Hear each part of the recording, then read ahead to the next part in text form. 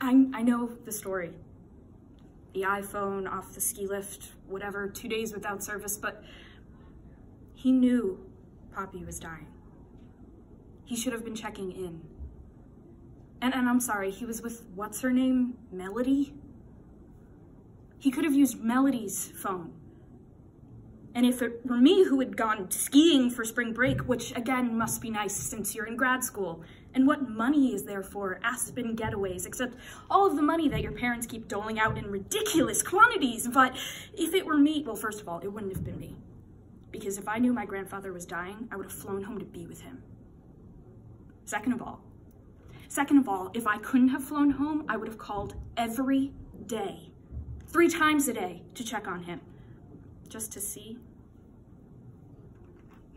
At the very least, I would have told my mother where I was going in case of an emergency, which the pending death of the most important person in your family is like the reason the word emergency was invented in the first place. The, and the idea that Liam just like flies off to Aspen with his $1,200 snowboard and Melody when his grandfather is dying, so he drops his phone off the ski lift, which is in itself a beautiful metaphor for what money means to him, so he misses the funeral.